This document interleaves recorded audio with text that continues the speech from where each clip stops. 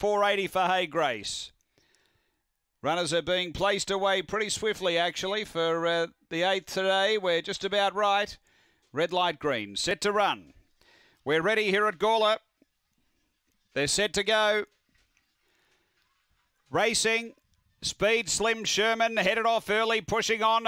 Out wider is Velocity Comet. Oh, got it tangled there, and St Candy came down and down the back. It's all reorganised, and South Song took over from Slim Sherman, Velocity Comet. Uh, then came Crazy Dream, Knocker Tunga, and Hey Grace. They're on the turn. South Song led, clear over Slim Sherman. South Song in front, too good. South Song beats uh, second Velocity Comet, and third behind those we had uh, Slim Sherman. Uh, then Hey Grace from Crazy Dream Knocker Tunga. St Candy uh, took a tumble, and the time here is 23.07 after the running of race number eight. Numbers are two, six, one, and seven. Two, six, one, and seven. Uh, number two, South Song, Ben Rawlings. Uh, second, going to six, which is Velocity Comet for Kim Johnston.